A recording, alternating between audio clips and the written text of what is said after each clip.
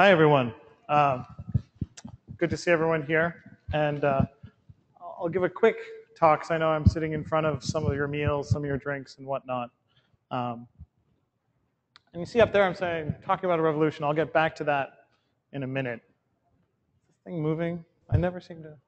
All right. First, first and foremost, um, thank you, everybody. I mean, this is an amazing event as well as an amazing outcome to a journey, at least on my end, that started in 2008.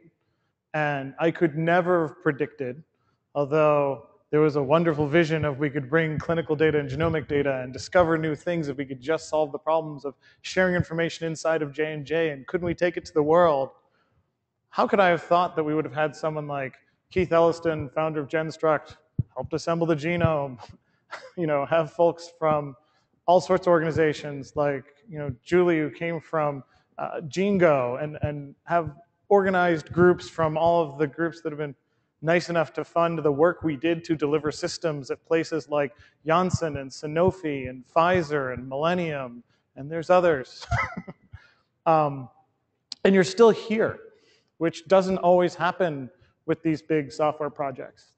And so, you know, a, a huge thank you, you know, to people like Yike, who, who was a founder of InforSense, a major informatics company, who then moved on and is, is driving an open source project out of the UK. And for groups like Kees, who came on board as a nice upstart software entrepreneur to build up a big team. So I'm, I feel like I'm living this wonderful dream outcome of what started as a small software project. And it's so amazing to see all of your contributions continuing to move this forward.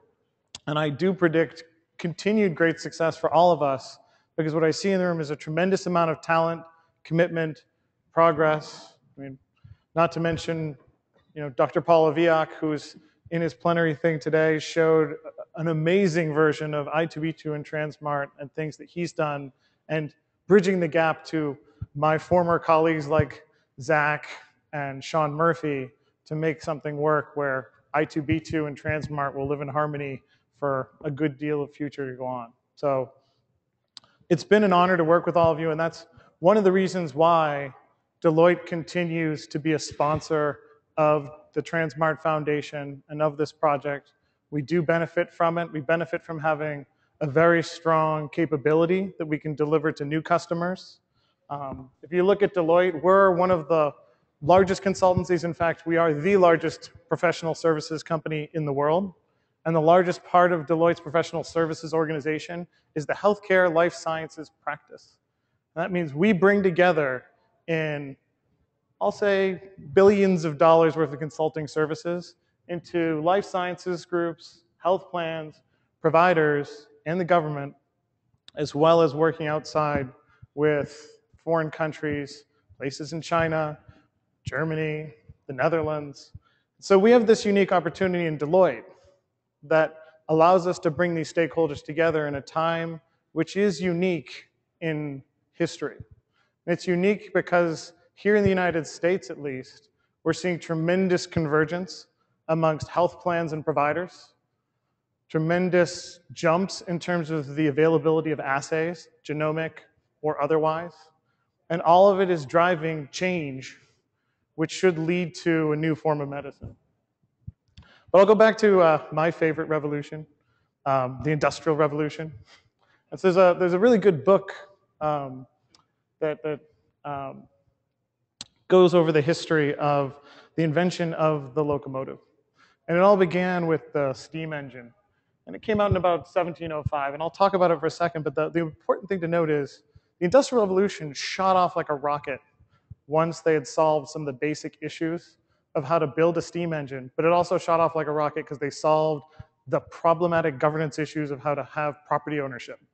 Those are two big things that launched it. So if you want to read the book, the book is called The Most Powerful Idea in the World, a story of steam industry and invention.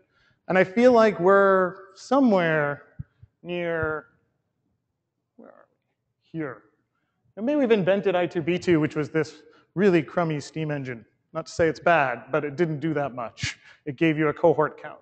And we're getting further along where we've built a commercial engine where some people have really installed and got these things running, and now we're starting to move into solving real problems. But if you look into the history of the steam engine, it became the locomotive over time, moving from a motion that looked like this, a little tilting motion, to a circular motion. That took about 100 years. Um, but by doing that, they could run mills. They could move forward with all of manufacturing, and eventually they could run trains and move things around the world.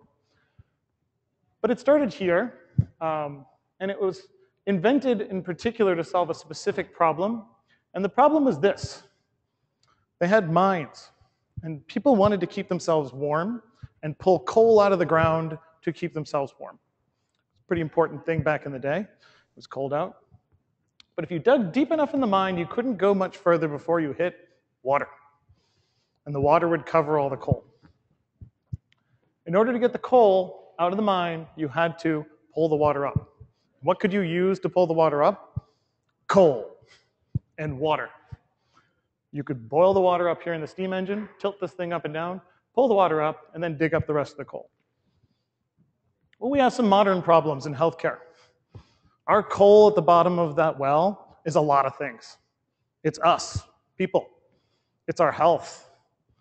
It's the waste we have in the world that stops us from being healthy. So we are spending $700 billion extra that we shouldn't be here in the United States.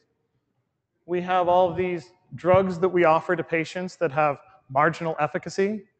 And we have a lot of cases, as Paul presented today, where we can't really even stratify the diseases like autism. There's a lot of coal at the bottom of our well. But we have the chance here, and we have started to invent what is the future to bring that coal out of the well. Now, Transmart's just a piece of it, um, but that future is taking the data and the data about us, about patients, gene genetics about patients, clinical phenotypes, what the drugs we're treated with, and figure out how we can make this really work so that patients get the care that they deserve, and we live healthier, happier, longer lives. We're down here again. You know, we, we, how much data did we talk about sharing today?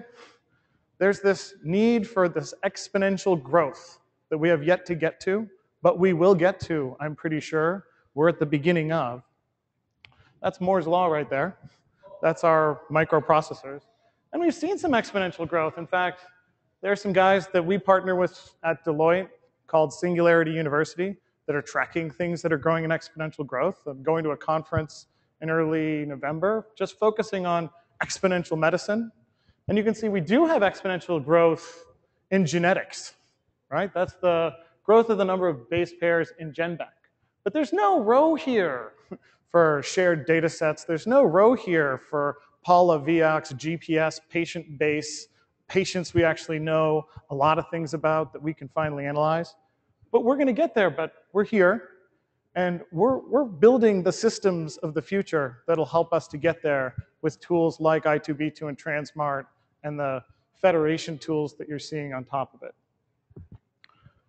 A big thing we're noting is that the result is there's a convergence coming between what we've been calling real world evidence and what we've been calling precision medicine. But ultimately, it's everything about a patient is coming together. And groups in our world, in Deloitte's universe, are asking us to bring all that data sets together in solutions that are a little broader than just the Transmart system. And so we're working to deliver those kinds of systems. I'll show you really quickly something that we've been building that has nothing to do with genetics, has nothing to do with clinical data. It does have a lot to do with predicting things we wouldn't normally see. Um, and this is the lifestyle-based analytics data that we work with in our health plans practice. And we work with it to track the 2,000 fields on every, every individual that get pulled from marketing data sets. And by taking those data sets from an insurer and matching them up against the patients that are in their insurance database, we can build predictions, just like we want to do with our genomics, of what kind of conditions a patient can have and build a view of an entire market. So for an example, here I am a very happy married man. I have three kids. Um, and my risk of depression, obviously we could predict depression or diabetes or anything else. But then we go forward, and unfortunately, my wife divorced me, went bankrupt, she got the house, I recently changed, and there goes my depression index. And so there's other information about might, might affect our health than just the things we're looking at. And then finally, I might actually do some strange things like start listening to acid rock or maybe stop buying my home improvement thing or just stop paying attention to investments altogether and have risk of depression at 36%. And I only bring this up to say, you know, there's a lot of information out there that, that's important that goes outside of the clinical domain and that we continue as a group to try and bring together what we know as humans to help do things like this, which is using that model to predict disease prevalence throughout Michigan, which was used in this case for the Health Information Exchange to figure out how to price health plans for the risk of all the patients in the system. We work with folks like Brent James at Intermountain Healthcare, and we've been trying to build out a consortium. And I bring it up with this group because there's this continuing need to get access to real clinical data from life sciences companies. And the two things that Deloitte's done to try and bring this sort of solution together is first, built our own consortium on the back end of Intermountain, Regenstrief, and Moffitt. But also, we're starting to see life sciences companies build therapeutic area specific private networks. And those are for areas, in our case, in immunology. Um, there's another one in the case of uh, infectious disease. And we're going to continue to see pockets of funded groups that are going to collect big data sets, large populations across multiple health systems, and put them into a system like Transmart in our case to be able to build out the analytics that you can use to get insights on those populations. We've been building reference architectures for our clients. This is an example of a reference architecture. And in almost all the reference architectures we're building, we're putting Transmart in one of the boxes.